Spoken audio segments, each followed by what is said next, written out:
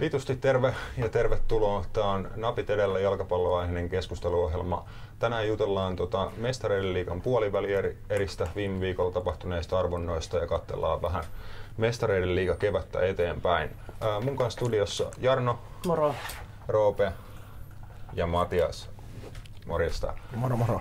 Ja Roopella oli meille, tota, saat esitellä, minkä, mihin tulokseen päädyttiin, kun Nyonissa Ranskassa viime perjantaina arvottiin tota, puoli, äh, puolivälieräparit mestareiden, onko se Sveitsissä? Oh. Ihan vitun sama. Me opetaan ma- maantietoa tässä samalla. Niin minkälaisia pareja me Roope saatiin arvonnasta viime Joo. perjantaina? Siellä saatiin aikaa tämmönen erittäin mielenkiintoisia pareja. Ekana oli Ajax Juventus, seuraavaksi oli Liverpool Porto, Tottenham Man City ja Manchester United edustaa Barcelona ja voitaisiin eka lähteä perkaan, mutta Ajax ja Juventuksen välistä kohtaamista. Joo. Että aloittaako itse hosti tästä?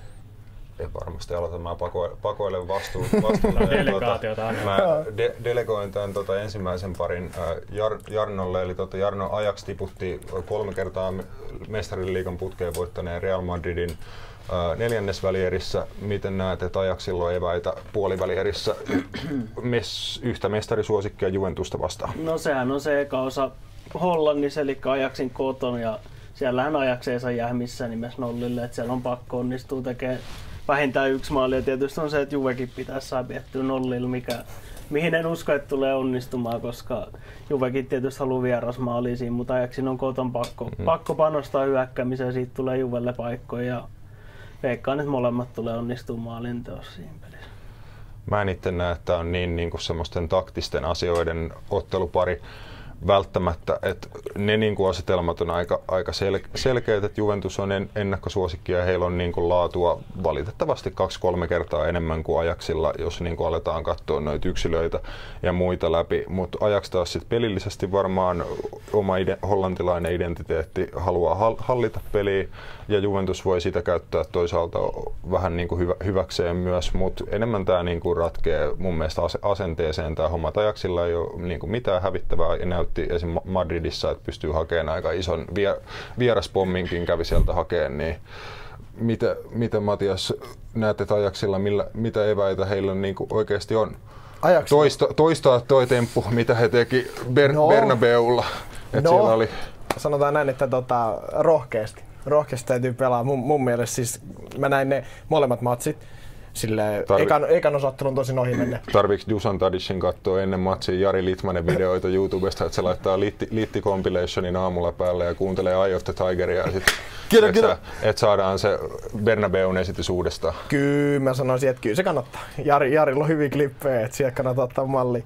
Mutta siis kokonaisuudessa rohkeasti täytyy pelaa. Mun mielestä se on niinku se avain, että he pelas Madridin vastaan molemmissa otteluissa tosi rohkeasti. Ja siis se oli se avain tavallaan, että ne yllättikin vähän, että ne ei lähtenyt niinku peruuttelee, mitä mä tavallaan arvostan ihan sikana, koska hekään seura niinku nimellisesti ei ole hirveän tämmöinen niinku megaseura niinku historian puolelta joo, mutta ei tällä hetkellä. Niin onhan se tosi siistiä, että tavallaan niin rohkeasti pelaavat niinku, tota, Ja varsinkin nyt kun on hima sekamatsi, niin, Niin. ei voi lähteä peruuttelemaan yhtään vaikka olisi Juve vasta, niin kuin onkin nyt. Et Mutta kannattaa mun Ei. mielestä silleen siinäkin miettiä, että et, kun ajatellaan sitä, että eihän kannata kuitenkaan ylipäätään hyökkää silleen, että Juventus tekee muutaman maalin, että pitää vaikka mieluummin 0-0 sen sitten sinne niin Torinoa tekee yhden maalin, Juventuksessa täytyy heti, heti tehdä kaksi, että se on sitten niin kuin, ja hän on ihan eri vastustaja niin kuin, tyyliltään, mitä esimerkiksi Atletico Madrid oli Juventuksella. että se, se, on mielenkiintoista nähdä, että miten Juventus tähän reagoi, että, koska nythän Juventus niin kuin, he piti Madridin vastaan hyvin paljon palloa, nyt todennäköisesti Ajax tulee pitää hyvin paljon palloa, Juventus joutuu peruuttelemaan. Onko se siis, toki katsoo pelaajistoa, niin se luulisi, että se on hyvä nimenomaan, mutta en tiedä onko, että jos he ei pääse niin hallitsemaan sit kuitenkaan. Uh, Roope, tota, saat olla vastuussa meidän tämän otteluparin veikkauksesta, eli kumpi menee jatkoon. Jos haluat, voit heittää yht- yhteismaalit, että millä mennään jatkoon. Ja kuka, tota, kuka on sun mielestä tulee olemaan niin otteluparin kannalta tärkein yksittäinen hahmo? Pel- on se pela- pelaaja tai valmentaja, mutta mieluummin vaikka, pe- vaikka pelaaja.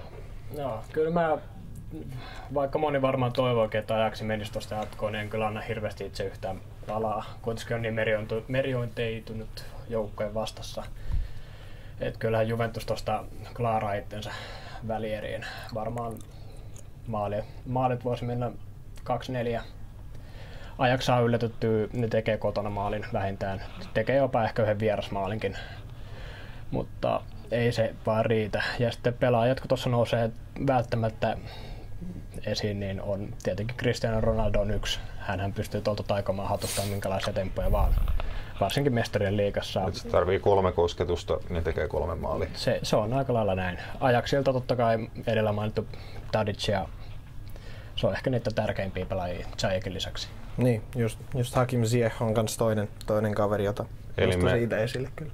Kiitetään ajaksia, että toi vähän yllätystä Kyllä. ja tuota positiivisuutta tämän kevään mestareiden liigaan, mutta tie loppuu tähän, että kukaan meistä ei uskalla veikata ajaksin toista yllätystä putkea.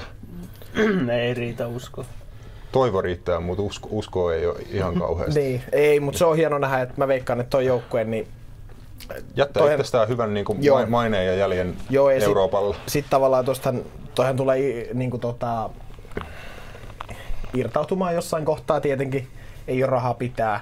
Kyllä. Niin kuin esim. nyt ää, tota Frankie de Jong siirtyy Barcelona ensi kesänä. Toppari kapteeni Matis de Ligt on myös ollut suurseurojen kohteena ja näin. Niin, niin se on, eihän toitu pysymään missään kohtaa niin kuin, tota, Kyllä. niin kuin tollaisena joukkoina, mutta siis Ja nä, näinhän sitä koko seuraa periaatteessa Niin, py, kyllä. pyörite, ja pyöritetäänkin. seura lähinnä silleen. just näin. Kyllä. Ja tuota, mennään eteenpäin seuraavaan pariin, mitä meiltä Roope löytyy. No seuraavaksi löytyy tämmönen ehkä isät vastaan pojat peli ennemmin, että Liverpool vastaan Porto. Kyllä. Pitäisi aika loppujen lopuksi olla sekin selvää, että kumpi sitä menee jatkoon, mutta spekuloidaan nyt silti. Aina kiva spekuloida. Yes, tota, viime vuonna neljännes välierissä sama pari päät. Silloin pelattiin ensin vieraissa ja Estadio de Dragaolla, jos muistaa Joo, oikein, oikein. stadionin nimen, niin 5-0 vierasvoiton Liverpool haki sieltä muun muassa Sadio Mane ha- hattut, hattutemppu sinä, sinä iltana ja näin poispäin. Toinen osa oli aika kosmeettinen 0-0 tasapeli, mutta pakko nähdä, että suurin piirtein samanlainen juttu voi toistua. Totta kai ö, Liverpool oli ehkä viime kaudella vielä vähän niin kuin yllätys Euroopalle, että kuinka korkealla tasolla ne varsinkin mestareiden liigan pudotuspelejä pelas kauhean määrän maaleja paino periaatteessa jokaisessa parissa, mitä kävi ennen matkalla finaaliin. Mutta Portokin esimerkiksi tietää varmasti sen paremmin, että viime kaudella Porto saattoi lähteä, että okei, että mikä Liverpool, että me ollaan, meillä on hävitty yli vuoteen kotiottelua ja he lähti vähän niin kuin rohkeasti hallitsemaan matsia mm. kotona ja sitten takaovi oli niin kuin aika, aika selällään auki, au, auki ja maaleja tuli liukuhihnalta, että Porto varmasti ottaa tämän huomioon, lähtee hakemaan 0-0 viera, vieraista ja katsoo sitten, että mitä yllätyksiä on. Et vaikeampi pari tulee varmasti Liverpoolille, että sanoisin, että 3-0, 3-1 yhte, yhteismaaleilla, että ei tule ehkä niin isoja maalijuhlia, mutta kyllä Liverpool menee välieriin. Niin. Onko eri, eriäviä mie- mielipiteitä vai onko tämä pari tällä taputeltu? En mä, no jos mä, jos mä nyt sanon sen, niin en- en mähän usko, että Porto tästä jatkoon menee, mutta kyllä en Portoa niin kuin, sanoisi niin miskään heittopussiksi. Mietitään kuitenkin Ei niitä niin, iso pelaajia, seura. pelaajia, mitä siellä on. Siellä on Rooman heitti lauluun. Moussa, Moussa Marega, todella kova siskus Champions League, Vincent Abubakar, joka todennäköisesti kuntoutuu sitten siihen toiseksi hyökkääjäksi, on ihan kovia.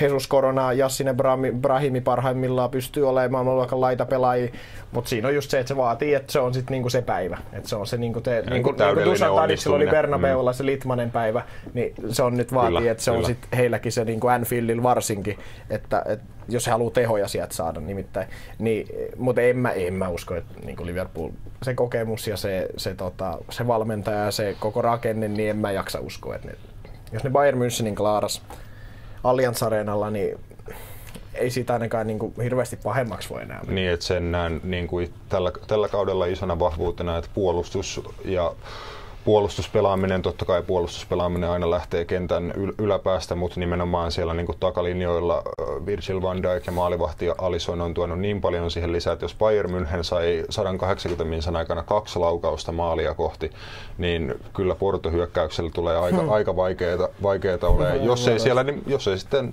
toki tällekin äsken mainitulle kaksi, jolle sattui viikonloppuna aika iso virhe, toki siitä sitten selvi, selvittiin ja käännettiin matsi, matsivoittoon, mutta jos ei itse virheitä tehdä ja lahj- lahjoiteta Portolle maaleja, niin silloin näen, että Liverpool on melkein, melkein varmaa rahaa menee jatkoon. Kloppihan sanoi itsekin, että hän mieluummin mieluummin voitti 2-1 kuin 1-0. Mm. Että se näytti sitä asennetta, kuinka pelaat toipu siitä takaiskusta, kuinka ne nousi siitä vielä voittoon. Se Kyllä, näyttää nämä, aina niin kuin muna. Nämä on tärkeitä, että siis jalkapallo ja kaikki pallopelit on vittu ihmisten pelaamia lajeja. Kelle Mm-hmm. meille tahansa voidaan joskus potkasta pikkasen hutia. Maailman paras pelaaja potkaisee hutia. Jos sulle tulee pieni virhe, niitä käy kaikille. Ei se ole se virhe, vaan se, miten siihen reagoidaan. Ja reagointi ainakin viikonloppuna oli, oli kunnossa. Et kyllä hyvillä, hyvillä mielin näin Liverpool-kannattajana itse lähden tuohon. Myös tähän mestarien liiga-aiheeseen niin paljon liity, mutta koen kevään kannalta muuten tärkeänä tuon Portoparin sillä, että se ei välttämättä kuormita niin paljon, että säästyy energiaa vähän liikapeleihin. Et Liverpool taistelee ekasta liigamestaruudesta 30 vuoteen, toivolla aika iso osa siinä, että Manchester City esimerkiksi pelaa kaksi kertaa Tottenhamia vastaan mestareiden liigassa ja heti niiden jälkeen pelaa liigassa. Eli tota, oliko se niin, oliko se Etihadilla kaksi kertaa putkea, taitaa No, pelata. Mutta joka, joka tapauksessa pelaa kolme, Joo, kolme, ker- kolme kertaa Spurssia vastaan niin kuin hyvin lyhyen ajan sisällä ja muutenkin peliruuhka. Et vaikka Cityllä on vähän enemmän laajuutta jengissä, niin mä näen, että esimerkiksi heitä kuormittaa enemmän toi heidän pari. Ja sitten mesta- mestaruustaisto on ehkä pieni etulyöntiasema Liverpoolille tuon kan- kannalta, mutta ne on niin kuin pieniä, pieniä juttuja, jotka saattaa näkyä tai ei näkyä sitten, kun keväällä pyttyjä jaetaan. Joo, ja sitten mä tartun vielä tuohon, kun sä sanoit siitä virheestä, niin niitähän tulee hei kaikille. Ja se on hyvä, että sulle tollaisessa pelissä mun mielestä, että et mieluummin mä otan sen Fulamiin vastaan Craving Cottagella, kuin että Portoa vastaan Estadio de Draga tällaisen virheen, koska se voi, siinä on Mm. ihan eri panokset, missä pelataan kuitenkin niinku, ja tasollistikin niinku joukkueet, että ja jossain kohtaahan se tulee kuitenkin tuommoisia virheitä. Oli sitten kyse niin kuin maailman paras jalkapalloilija, puolustaja, maalivahti, niin tulee aina. Se on Kyllä. vaan sitten just se, että sit jos niitä rupeaa tulee viikosta toiseen ja vie ihan semmoisia kardinaalivirheitä, sit se alkaa olla, niin kuin, että se Niin ei ole just. enää ihan vaan siitä niin kuin semmoisesta hetken, hetken jutusta, vaan sit se on niin kuin, että Et siinä on jotain pel- pielessä muuta. pelaajastakin näke, näkee kyllä, että kun tai se mittaa paljon niin kuin mentaliteettia, että joku pelaaja tekee tuommoisen selkeän virheen, vaikka joka johtaa suoraan maaliin, niin esim. Alison ja Van Dijk on myös sen näköisiä jätkiä, että ei niitä niin kuin huimaa päätä helvetteekään. Ne niin kuin vaan pudistaa päätä, menee, pallo lähtee uudestaan pyöriin ja sitten ne varmistaa, että jollain tavalla sieltä haetaan se voitto. Että niin kuin parhaiden pelaajien merkki on mun mielestä, että ne virheet ei niin kuin, ne vaan niin kuin, että okei, voi vittu, nyt, nyt kävi, kävi ohkaisesti ja lähdetään yrittämään uudestaan, mutta joku jää miettimään niitä omia virheitä ja sitten kasvaa api- apina selässä ja tulee lisää virheitä, mutta sekin on ihan luonnollista, mutta sillä ehkä mun mielestä erotellaan parhaat pelaajat ja mestareiden liigassa tärkeä homma. Mutta vain. se on myös fakta, kun viime aikoina on Salah ja Firmino ei ole tehoja oikein tullut, että on ollut Manen varas aika paljon, niin se, se niiden pitää nostaa tasoa, jos puuli meinaa mennä pitkälle tsemppäristä tai valjun taistelussa. Ei, se, ei ne Manen tehot yksinään tule riittämään mihinkään. Et kyllä ne Portosta menee jatkoon, vaikka tämä jatkuisi, mutta sen jälkeen siellä tulee kovempaa vastaan tsemppärissä, että siinä pitää nostaa tasoa ihan huomattavasti kyllä molempien kaverien. Kyllä, että niinku paikat, paikat pitää käyttää sit huippuvastustajia vastaan, mikä on ehkä joissain peleissä tällä Kyllä. kaudella ollut vähän ongelma, että kun on niitä matseja, missä ei, ole, mon, ei tule montaa paikkaa, niin silloin no, se auttaa esimerkiksi paljon, että teet ekasta paikasta maalin, niin sitten on taas seuraavasta tekeminen on paljon niin kuin helpompaa, mutta kliinisyyttä, kliinisyyttä tar- tarvitaan, Kyllä koska uskon, että Portoon vastaan tulee paljon paikkoja puulille, mutta sitten seuraavalla kierroksella, kuka siellä nyt tuleekaan vastaan, niin sitten on taas Yes. ihan eri asia. ja, Barsman. yes, ja Liverpool jatkoon yhteismaaleilla 3-1. 3-1. Se on meidän veikkaus, saa laittaa lapulle, saa ottaa ylös. Ää, mikä meillä Roope seuraava pari? Seuraavaksi on tämä Englannin paik- tota, englantilaisten kohtailu. Tottenham vastaan Manchester City. Itse ennakko, ennakkoon en kyllä edelleenkään anna Tottenhamille tuossa oikein mitään palaa. Man City on tällä hetkellä vaan niin usko, uskomattoman kova joukko, jota on rakennettu niin pitkään ja prosessi on ollut todella pitkä ja Ja jos on sitä laajuutta. laajuutta on ehkä jopa Euroopassa eniten. Rope ei anna tänään kenellekään palaa. Ei, Mä en tänään, Se on täällä on semmoinen tietokone, joka on lukenut näitä asioita. kyllä. Ei tossa oikein.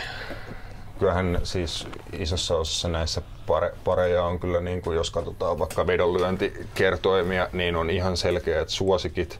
Mutta futiksessa on aika vaarallista veikata, että vaikka laitetaan kaikki noista, kaiken neljän parin suosikit jatkoa, niin mä oon aika varma, että se ei ihan niin kuitenkaan tuu menee. Että kyllä jossain parissa joku yllätys on tulossa. En tiedä, kantaako se sit sitä yllättävää joukkuetta niin kuin ihan jatkoon asti, mutta ei tämä niin kuin ihan niin pässin selvää juttua tuu, tuu varmasti, tai toivottavasti ei tule olemaan. Toivottavasti tulee vähän käänteitä ja Joo. muutoksia. Et esimerkiksi Tottenham voi olla tiimi, joka semmoista pystyy, pystyy tekemään City vastaan.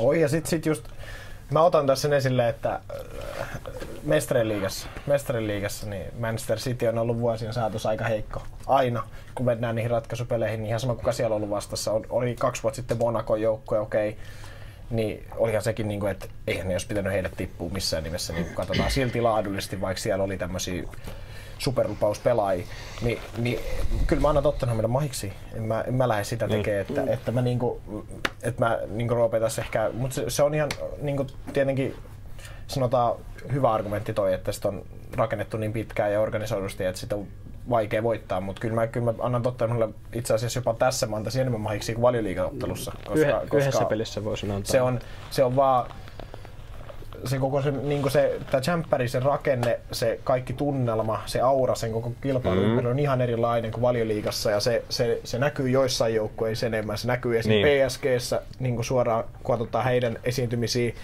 niin kuin Champions Leagueassa negatiivisesti se näkyy Real Madridilla tätä kautta lukuun ottamatta nimenomaan positiivisena se aura koko sen Champerin ympärillä heidän kohdallaan, siksi on se niin monta kertaa voittanut. Mutta niin kuin just, että kyllä mä annan Tottenhamille tässä palaa, että niin, silleen... et tuossa tullaan ehkä siihen, että just seuran niin kuin Eurooppa-statukseen, että vaikka Liverpool-seurana, äh, viimeinen kymmenen vuotta on ollut, mitä on ollut, mm. oltu siitä iso osa poissa mestareiden liigasta, mutta sen niin kuin koko seuran historiaan on niin kuin naulattu se, että on voitettu niitä pyttyjä, on ollut niitä kuuluisia iltoja, kun on tiputettu isoja seuroja, niin se, niin kuin, se tuntuu, tuntuu jossain, että ne niin kuin fanit ja seura, kaikki sitä seuraavat tietää ja uskoo, että ne on nähnyt niin kuin se homman ennenkin, että City on taas niin kuin perinteitä seuralla ei ole niin, niin paljon, että, ja sitten nyt kun heillä on resursseja lähestulkoon loputtomasti. Maailman paras manageri, maailman parhaita pelaajia. Viime kaudella veti ennätyksellisen valioliikakauden, niin he on niin kuin suosikki, heillä on paineet. Nyt heidän pitäisi niin kuin näyttää mestareiden liigassa, mitä tehdään. Et ihan mielenkiintoinen tota, tilasto tai knoppi tähän väliin, että Pep Guardiola on kahdella tuota kahdella Man City-kaudella on jäänyt puolivälieriin molemmilla, molemmilla kaudella. Sitä edellisellä kaudella potkut saanut Manuel Pellegrini vei tota, Cityn välieriin asti. Mm, Re- Realia vastaan ja hävis, se oli vaan 2-1 yhteys. 1-0, 1-0, Fernandini omalla kyllä. maalilla. Joo. Et aika pienestä jäi finaalipaikka silloin kiinni, vaikka siis muistelen sitä matsia vähän, vähän että olihan siis City pelillisesti suhteellisen purjeessa koko mm. sen ottel, ottelupari, mutta joka tapauksessa se on jonkinnäköinen saavutus viedä mm. joukkue mestareiden liiga välieriin ja sitä ei ole Guardiola, se on varmaan yksi asia, mitä hänet otettiin Cityin sen takia, että hän veisi pidemmälle tässä kilpailussa seuran, mutta sitä ei ole vielä, vielä ainakaan nähty, että hänellä on nyt niin kuin aika iso näyt, näytön paikka, että tässä ei, nyt ei kelpaa niin kuin mitkään tekosyyt tällä kertaa, jos ei mennä jatkoon. Mitä veikkaat? Itse on kyllä Sitin kelkas kanssa ihan, no. niin kuin, ihan silläkin perusteella, että paljon laajempi materiaali, että siellä on penkiltä voi tulla Mahresi ja Yndogani ja kumppaneet. Ja sitten ihan toinen pointtikin se, että Cityllä on ollut pallonhallinta 65 prosenttia about tällä kaudella. Eli Tottenham pitää olla aika kliininen, mm. jos niitä paikkoja ei tule todellakaan tulee olemaan paljon. Mitä veikkaat Jarno, olisiko tämä sellainen ottelupari näistä kaikista, mikä voisi todennäköisemmin ehkä mennä niin jatkoajalle kautta joo, rankkareille? Joo, sanoa sitä, että minä veikkaan, että tässä parissa on se, missä voi tulla se yllätys, että mennään noissa muissa kyllä hirveästi epäselvää, mutta kyllä me silti Cityn kannalla on tällä Joo. hetkellä. Laajempi materiaali ja sitten tottena, missä mennään, että se on Keinin, Keinin paras aika paljon se hyökkäyspeli ja tehot. että jos Keinin saa pois Tottenhamin, niin sitten tulee olemaan vaikeaa kyllä Tottenhamin. City menee jatkoon. Mut on noit kuitenkin nähty, että jos katsotaan viimeisen parin vuoden aikana näiden joukkueiden kohtaamisia, niin on nähty kyllä tuloksia molempiin suuntiin. No. Et on Tottenhamkin hakenut ihan komeita voittoja Citystä. Viime aikoina muistaakseni on ollut aika City-voittosta, että Joo. viimeiset muutama peli on mennyt aika selkeästi Citylle, mutta Tottenhamin niin kuin pelityyli ja se laatu, mitä sieltä löytyy, on kumminkin, että hyvänä päivänä voi yllättää Cityn ihan täysin, mutta se just, että kahden otteluparin aikana ja se, että Pep Guardiolakin varmasti tietää, että he ei ekassa osassa sitä voita. Että voi olla, että Citykin pelaa vähän varman päälle ja he tietää, että mitä pidemmälle mennään, niin heillä on ehkä enemmän aseita. aseita sit, että ei niin kuin yhtään huono shoutti, että tämä on se pari, joka menee jatkoajalle niin, tai mahdollisesti rankkareille asti. Kun oli Dele Alli ja Kane sivun, niin he omin son otti reppuselkää Tottenhamille, että ratkaisi monta peliä. Et eihän sitten tiedä, jos Kane ja varjoit tuleeko son taas esiin. Mutta laajuutta tarvitaan kyllä, jos meinaa mennä jatkoon. Se on just mun mielestä ehkä tämän pelin avainhenkilöitä, jotka voi sitten nousta sieltä esiin. Se on kuitenkin aika Keinin ja Eriksenin taakse jäädy mediankin huomiossa, että aivan loistava pelaa aliarvostettu. Vaikuttaako minkä maalainen on korasta? No se, se voi olla yksi, ettei ole niin ehkä Osin jollain tapaa totta kai mediaseksikäs, mutta jalkapallo Aasiassa ei kuitenkaan ole ehkä se maailman suurin laji. Mutta silti aivan loistava pelaaja voi, voi olla avainhenkilö tässä pelissä. Jarno, millä tuloksella mennään? Mikä on sun veikkaus? Saat pistää Otetaan tähän, ka- kaikki, kaikki saa sanoa, että aina niin kuin, tuota, tiukin pari, niin Sitten otetaan menee 3-2. City 3 2. Tarvitaanko jatkoaikaa? En usko, en usko että tarvitaan. Okei, varsinaisesti. 3-2 siitä Joo. menee varsinaisesti. Ei tarvita jatkoaikaa ja maalierolla 2-6. Ei ota Roope vieläkään eli- palaa. Eli, eli City tekee ku, kuusi. Toisessa ottelussa Tottenham romahtaa Okei. Okay. Kummassa? Cityn kotipelissä. Selvä. Eli toinen, toinen osa Etihadilla repee. Et siihen asti ollaan suht tasoissa, mutta Eka peli päättyy, se päättyy 1-2 Citylle. Ja osaottelusta Tottenham joutuu lähteä rohkeasti hyökkäämään. City, Citylle avautuu sitten hur, hurja määrä paikkaa. Ne nopeat pelaajat siellä hyökkäyksessä pystyy rakentamaan siitä maali-ilottelut. Mä veikkaisin 2-2 yhteismaalit ja rankkareilla. Manchester City menee jatkaa. 1-1 molemmissa otteluissa. Mä näen sen niin, että vaikka nyt on hyökkäysvoittoisia porukoita, niin yleensä se menee niin, että kaksi hyökkäysvoittoista joukkueet kohtaan, niin se menee siihen. Mm. Että se on semmoista, että keskentällä taistellaan siitä pallosta puolittaisia paikkoja, mutta en mä usko. Kyllä City on jokaisella osa-alueella parempi joukkue. On, mutta ei- ei niin se niinku- puolustus katsoo, että sinne on 200 miljoonaa käytetty. Että kyllä se On, on mutta en mä, näkynyt. en mä, silti, en mä kuin silti niinku lyö sitä, lyö sitä niinku edelleenkään. Niinku. Mutta jos katsotaan sitten niinku puolustuksikin, Nehän on käyttänyt enemmän rahaa kuin Intian Polkeri, maanpuolustukseen. Stonesi, Laporte, Otamendi, Ederson maalilla, VS Tottenham, Lorist ja No, mutta mä- mä en silti anna- ja mä en silti anna- Davinson Sanchezia. Tottenhaminkin puolustus on kuitenkin ollut ihan valioliiga huipputasoa monta vuotta, noin niin kuin samat sällit Kyllä. ja tälleen. Et ei, mun mielestä se voi olla tosi tasainen pari, kyllä nyt niin kuin järki ja paper, paperilla katsotaan, että tämä voi City- Citylle, niin kuin City on suosikki. Siis City on suosikki totta, ka- totta kai. Mutta tota, mä oon kyllä Matiaksen kanssa samoilla linjoilla, että yksi, yksi, yksi molemmissa osissa, että pelataan aika tarkkaa, sitten mennään jatkoajalle ja mä laitan ihan vittuillakseni jatkoajalla Spurssin jat, jatkoa. Harry Kane tekee jat, jatkoaikamaali. Joo, joo, kutakuinkin näin se tulee menee. Mut kyllä tulee sitten puolustus testaamaan, kyllä on Sterlingin ja Aguero ja kumppaneita. Siinä kyllä mitataan se Tottenhamin puolustus, sit se oikeasti se taso. Varsinkin Kyllä. kun pelataan vielä kaksi peliä. Et se ei riitä, jos se yhdessä pelissä onnistuu, vaan se pitää onnistua molemmissa peleissä. Tässä on hyvä täällä jakautunut tälleen niin kuin Manchester City, all Manchester City, ja sitten täällä on Mm, vähän annetaan mm. palaa tällä puolella. Ei, se on ihan eriäviä mielipiteet. Ja Joo, siis tämähän on vähän tämmöinen, tässä on kaksi pitkän prosessin joukkoja, että molemmissa on saatu rakentaa, mutta toisessa on saatu käyttää sitten, on ollut vielä enemmän näitä resursseja. Toinen on saanut Juu. rahat ja toinen on joutunut mennä niin mitä on. Et mo- kaksi aivan huikeata valmentajaa. Jep, että toinen on mennyt shoppailemaan Lu- Louis Vuittonille ja toinen Zaralle tai johonkin.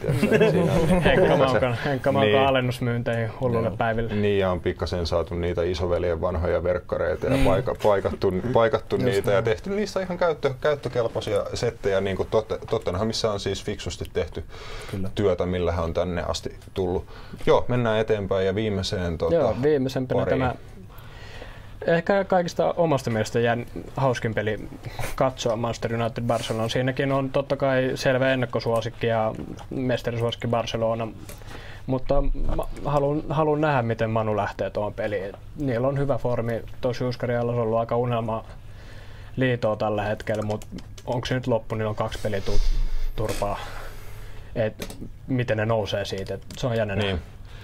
Et, ja varmistetaan vielä, että siinä, tässä otteluparissa oli tota, alun perin arvottu näin, että piti aloittaa ottelupari Barcelonassa ja sitten toinen osa Old Traffordilla, mutta tosiaan UEFAn määräys oli sen tapainen, että kun Manchesterissa on kaksi joukkuetta, että heillä piti olla samana päivänä kotipelit, eikö näin Joo, ollut? Joo, heillä olisi niin samaan aikaan ollut. Kyllä, että samaan aikaan ja sitten tosiaan ö, poliisit ja muut järjestyksen valvontatahot Manchesterissa oli sitä mieltä, että tämä ei onnistu. Ja UEFA sitten katsoi, että tämä pitää siinä tapauksessa siirtää. Ja nakki tuli Manulle sen takia, että tota, Manu sijoittuu viime, viime kaudella valioliigassa alemmas, alemmas eli City käytännössä jonkinlaisessa rankingissa heidän yläpuolellaan, niin sai pitää sen tota, kotietunsa tai, tai tota City sai pitää päivät, päivät ennallaan ja Manun, Manu ja Barcelonan pareissa vaihdettiin sitten kotijoukkueet päittäin. Mitä näette, että onko tällä iso, iso ero, että aloittaako Manu vieraissa vai kot, kotona, että Manu lähtee sitä yllätystä hake, hakeen, niin kumpi, onko sun mielestä Matias väliä, miten päin lähdetään? No siis äh, henkilökohtaisesti mä ehkä olen sitä mieltä, että ei, ei ehkä, että et, niinku, ainahan silloin tietenkin jonkun verran väliä. Jos olisi aloittu Barcelonassa, niin olisi ehkä Manulla ollut helpompi lähteä siihen eka osaatteluun silleen, että heidän ei tässä tarvitse vielä niin kuin mitään ratkaista, mutta ehkä tämä on niin kuin sit niin. kolikon toinen puoli sitten, että nyt taas heidän täytyy Traffordilla sitten, että siellä ei voi ajatella silleen, että jos me nyt hävitään 3-1, niin Camp Nou sitten kaidataan niin kuin voittaa, että se, mutta en mä näe, että mutta tämä toimi Manulle ihan hyvin edellisessäkin parissa, että et niinku, kotiottelussa he ei toki niinku juuri mitenkään onnistunut PS, PSGtä vastaan, mutta voi, voi niinku, periaatteessa voi olla Manulle hyvä, koska Manu on taas aika samanlaisessa asetelmassa, että kukaan ei oikeasti oleta, että he menee jatkoon. Että meni se eka osa sitten miten tahansa, että pelaa he tosi positiivisen peliä ja ottaa hyvän tuloksen. Tai sitten, että jos nyt ei tule niin kuin ihan isän kädestä takkiin, hmm. niin siinä tapauksessa Manu voi lähteä aika paineetta siihen tokaan osaan. Kukaan ei Camp Noulla oleta, että he tekee mitään. Paineet on Barcelonalla. Barcelonalle on niin kuin annettu avaimet, että tästä mennään välieriin.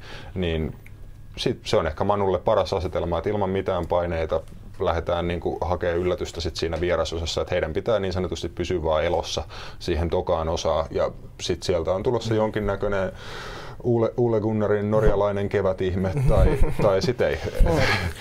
Taustaperuna Fergi, Fergi häärää siellä. Itse näen, että on parempi, että on Manun koton, koton, että ne saa hyvän tuloksen, niin on se helpompi lähteä vieraspeliin kun on hyvä tulos alla, kun se, että olisi ollut eka Camp Nou, olisi Joo. hävinnyt 2-3-0 kotiin, niin siinä on paljon isommat paineet silloin, jos sä ekas pelissä ottanut huonon tuloksen, meet kotiin pelaa. Kun se, että saat kotona eka hyvän tuloksen, niin on se paljon parempi asetelma lähteä. Mutta on toisinpäin, että mä uskon, että Manu, Manulla on ehkä parempi jopa aloittaa pelit Camp Newlla, hakea sieltä se maksimitulos tasapeli tai ehkä yhden maalin tappio. Ja siitä on lähteä. No siis sitä voidaan nyt vähän spekuloida, mutta se olisi mun niin. mielestä ehkä Manu, jos olisi päässyt aloittaa Camp Noulla ja hakenut sieltä vaikka 1-0 tappion, niin ne voi silti lähteä, että joo, ei meidän tarvitse tehdä tässä kuin yksi tai kaksi maalia kotona, niin. mutta sitten pystyykö ne pitämään esim. Barcelonaa nollilla, se on aika ultimaattinen mm. idea mille tahansa joukkueelle toteuttaa. Mä näen niin kuin ehkä ennemmin, että se eka, eka osa, jos olisi pelattu Camp Noulla, niin Manu menee sinne oikeasti kolme desiä paskaa housussa jo valmiiksi. niin kuin ainoa tehtävä, että pidetään nollat, seisotaan päällä. Se ei ole niin kuin hyvä lähtökohta lähteä ensimmäiseen no. osaan niin kuin pelkään Barcelonaa, että se olisi voinut mun mielestä niin kuin ennemmin, että Barcelona painaa kotiottelussa kolme-neljä maalia taululle ja sitten pari on niin kuin kutakuinkin pelattu siinä vaiheessa, että ei Old Traffordilla sit niin saisi tulla sen luokan ihmeitä. Et mun mielestä tämä jopa meni niin kuin Manun kannalta paremmin, se, paremmin mm. tämä tota, järi, ottelujärjestys. Se, mikä tässä on vähän samaa kuin tuossa Tottenham City parissa, niin Parsa tulee pitää palloa tosi paljon. Ei ehkä Manun kotipelissä niin paljon, mutta ainakin omassa kotipelissä. Ja se tietää sitä, että Manulle ei tule paikkoja. Ja ne, miten ne meinaa, meinaa, että ne voi maalia tehdä, niin se on vastahyökkäyksiä Pogban kautta, kun siellä on Marshall ja Rashfordin nopeat, nopeat kavereita, että se pitää saada nopeasti Pogban kautta sinne ylöspäin, jos ne meinaa maali tekee, ettei ne pelaamalla kyllä meitä Parsan jengistä ohi oikeastaan. Et pikkasen niinku tak- taktisuudesta, just mitä mainitsit Manun niinku vahvuuksista, niin ne mä näen itse ihan hyvänä, että kun Barcelona vastaan pitäisi lähteä tekemään maaleja, niin Manulla on siihen niin kuin aika, aika hyvä työkalupakki olemassa, että tosi laadukkaita hyökkäyspään nopeita, nopeita pelaajia, ja Barcelonan pelityyli on semmoinen, että se on aina vähän haavoittuvainen niin kuin tällaiselle, että kun sä hallitset palloa, sä oot käytännössä koko jengi vastustajan kenttäpuoliskolla, se on yksi pallon menetys, ja sitten kukaan ei halua juosta himaan päin Rashfordin ja Martialin ja kumppaneiden kanssa kilpaa, kilpaa sit siinä vaiheessa, että sinänsä jos Manu käyttää paikkaansa hyväkseen, niin mitä vaan voi tapahtua, mutta onhan Barcelonan niin kuin overall taktisesti, laadullisesti niin kuin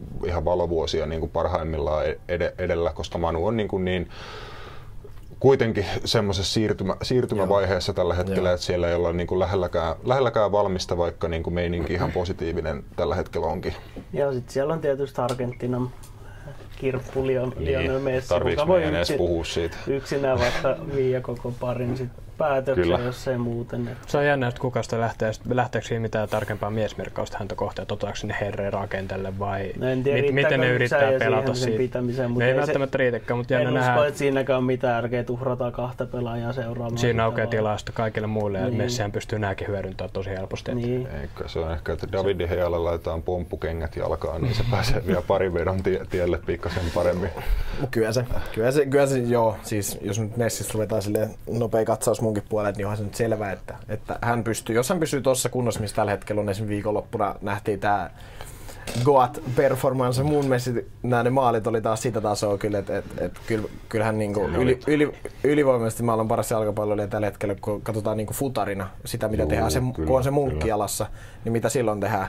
Ei, mua ei niinku kiinnosta muuten se juokseminen tai fysiikka tai tommonen, mutta se mitä tehdään sen itse sen... Siis niinku... maailman lahjakkain jalkapalloilija jalkapallon Joo. historiassa. Kyllä. Mä oon ainakin sitä mieltä, että jos joku on eri mieltä, niin ei valitettavasti vaan niin kuin tie, tiedosta tätä faktaa. Että aina voidaan väitellä, että kuka on parempi, kuka voittaa enemmän, kuka ratkaisee enemmän pelejä, mutta se äijä tekee pallon kanssa nimenomaan semmoisia asioita, mitä ei niin kuin pitäisi saada tehdä. Mm. Tai niin, niin. varsinkin niin kuin ton luokan peleissä, kun me voidaan noita samoja temppuja mennä koke- kokeilemaan tuohon pu- puistoon, mutta joku lait, niin kuin huippu, huipputasolla käytännössä pitää niin kuin vastustajia pil- pilkkana, vaikka hyvin nöyrä ja mukava olla ne mie- mies onkin, mutta ihan pelkästään niillä niin kuin pelisuorituksilla hän niin kuin, kusettaa, kusettaa vastustajia jo kohta, kohta 15, 15 vuotta vähän tehnyt sama, samaa hommaa. Vähän sama kuin lukisi kortteja Blackjackissa, niin hän lukee muita pelaajia. Eli kaikki on varmaan yhtä mieltä, että Parsalan tärkein on Messi tuossa parissa. Ja Manulla Pogba mun mielestä. David De Gea, mä sanon, joo, sanon, joo, sanoisin, mä, mä, mä, sanoisin, että David De Gea pitää torjua semmoinen, ihan sama miten nuo pelit menee, niin jotain viidestä kymmeneen torjuntaa per ottelu joutuu ottaa. Se ja on sit... se alin viisikko, mikä niiltä tulee niin, ratkaisee. Kyllä. Se puolustuslinja ja maalivahti, jos, jos, se, jos se vuotaa. Itse taas näin Pogban sen takia, koska jos Manu meinaa maaleja tehdä, niin aika paljon se tulee Ei sen huono kautta menee. shoutti sekä. Koska Pogba pystyy itse ratkassa tai sitten Pogban kautta pelata eteenpäin.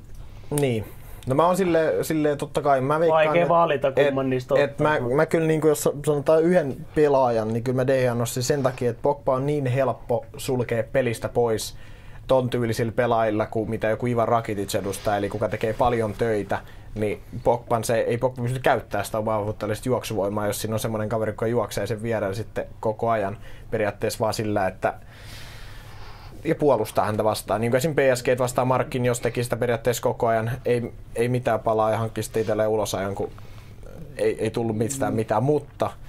Riittääkö Rakiticin nopeus?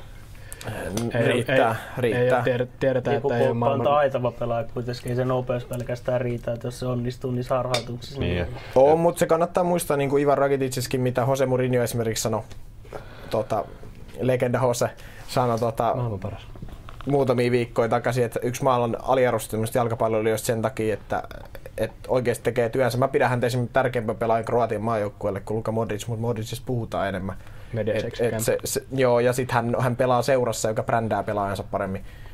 Et se, se, tota, ja sitten tämäkin, että et hän on todella oikeasti aliarvostettu. Hän tekee paljon töitä, on hyvä laukasee, hyvä syöttää, hyvä päällä, hyökkäyspuolustussuuntaa, todella hyviä juoksuja ja tälleen näin, niin mä, mä niin kuin, aina puhutaan Rakititsesta vähän silleen, että, että riittääkö nopeus ja riittääkö nämä, mutta kyllä se aina on tähän mennessä riittänyt. Et se, se on vaan, et, ja sitten kun ei se välttämättä se nopeus, se on se sijoittuminen, että se, se on se pää, pää, Niin. pää, millä pelataan ja jalat sitten toimii sen mukaan, kuin nopeasti se pää pelaa. Et se, se on ehkä enemmän Kyllä. se, että, Et että Mä sanoisin, että Paul Pogba on, jos kuvi, ku, pystytään nopeasti kuvittelemaan, ketä molemmilla on kolme keskikenttäpelaajaa. Manulla ne on vaikka Nemanja Matic, Paul Pogba ja Ander Herrera Barcelonalla, Sergio Busquets, Ivan Rakitic ja sitten kolmantena Arthur. Arthur, Arthur toden, todennäköisesti.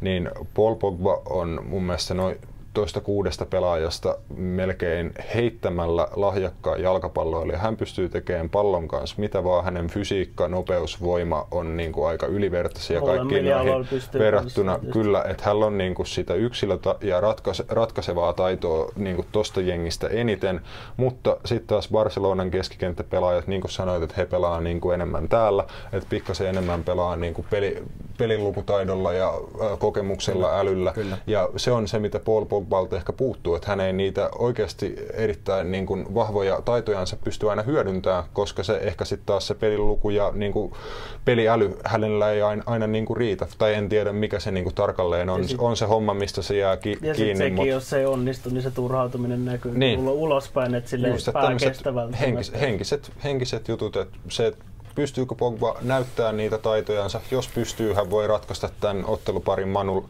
Manulle yhdellä kahdella suorituksella.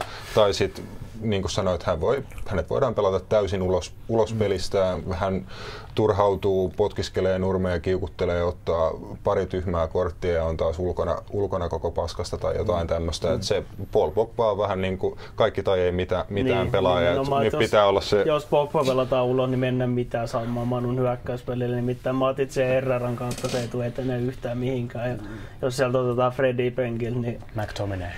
Ja ihan ei voi ehkä laskea, että kun PSG lahjoitti heille vierasmatsissa, käytännössä lahjoitti jokaisen ko- kolme, kolme maalia, tuli kaikki PSG niin kuin aika, aika tota, ystävä, ystävällisellä avustuksella, niin tuskin on tulossa ihan samanlaisia apuja Barsalta. Ei, nyt, ei. nyt tarvitaan Manulta niin kuin onnist, onnistumisia. nyt niitä testataan vain- se Lindelle ja Smallin kehuttu toppariparikin ihan huolella sitten, että Kyllä. mikä se taso on oikeasti. Että- De Gea ei voi samanlaisia farsseja tulla kuin Arsenali vastaan Niin. niin. veto. Että noihin ei ole varaa kyllä tässä, tässä parissa. No, mut Et mikä ei, meillä saa, ei saa antaa liikaa painoa sille PSG Manu kamppailulle, että mistä Manu, Manu kairas sen tokassa ottelussa, niin se oli ehkä jopa enemmän sitä PSGn huonoutta loppujen lopuksi. Mutta kyllä Manu kuitenkin silti aika us, uskoa, uskoa paljon sai tietenkin on- onnistumisista ja siitä ta- taistelusta, mitä he siellä näytti. Okei, mennään tota, laitetaan hommaa pakettiin pikkuhiljaa, otetaan tähänkin kaikki ekat kaksi paria oli helppoja, mutta nämä vikat kaksi, niin sanotaan kaikki taas yhteismaalit ja jatko, jatkoon meni ja